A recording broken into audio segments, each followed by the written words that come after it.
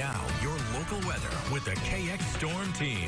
And welcome back, everybody. Looking at temperatures that were pretty warm today. We managed to climb up to 33 degrees, even though the colder air moved in. Sunshine helped things. 10 degrees above average. Record high in this day was 55 degrees. That's set back eight years ago. We started off pretty mild as well. Only got down to 23 degrees early this morning.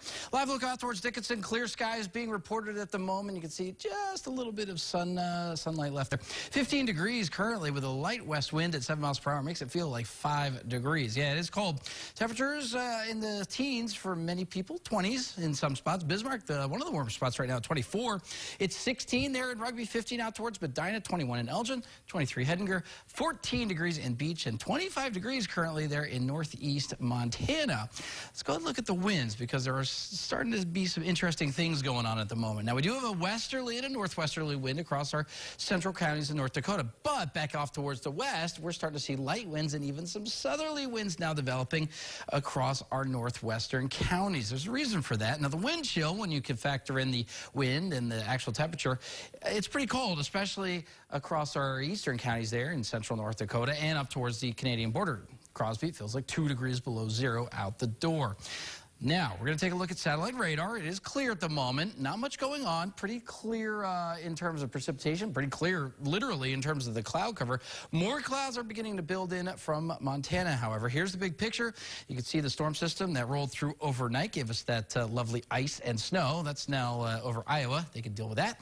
We're looking at more active weather, however, back towards our west. We have a system brewing off towards our west, and that's the reason we're starting to see the uh, change in wind direction and the increase in clouds from the west. So here we go, precision cast. Look at this. Warm front begins to develop across our western counties by late tonight. Really, it's already happening with the southerly winds developing, but we'll start to see a stronger warm front developing.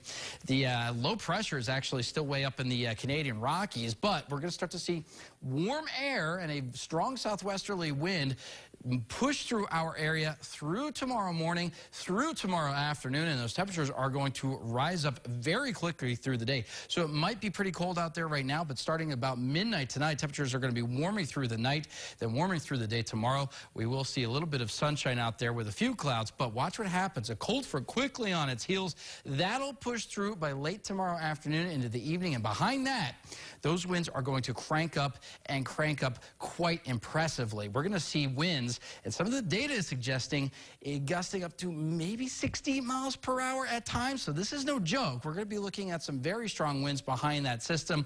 Sunday will be a windy, sunny day to start out. The winds will eventually subside by the afternoon. We'll be left with some sunshine out there. But yeah, hold on your hat, literally. It is going to be uh, uh, very active out there in terms of those winds. There's your three-day forecast for Dickinson. Again, lots of sunshine. Those winds start to crank up by late tomorrow afternoon. Williston, same deal. Winds will crank up by tomorrow afternoon. But look at those temperatures getting up to the mid-40s through the day tomorrow. Lows overnight tonight. Temperatures will get down to the single digits and teens. Now, these temperatures will be set at about midnight because everyone will start to warm up with that lifting warm front uh, overnight tonight. And then your highs tomorrow will actually be set later on in the evening.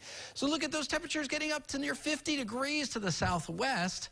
And not bad in Minot either. Low 40s. Look at this. Extremely windy. I think it's the first time I've ever put that out there for tomorrow evening. So be aware of that. Bismarck, again, temperatures will be in the mid 40s. We'll pick up those winds by tomorrow evening. Uh, any loose furniture outside, make sure it's, yeah. you know, yeah. down and secure because things are going to be uh, flying around tomorrow night. Yeah, a big change. Thanks, Dave. Coming up next, of course, shocking news.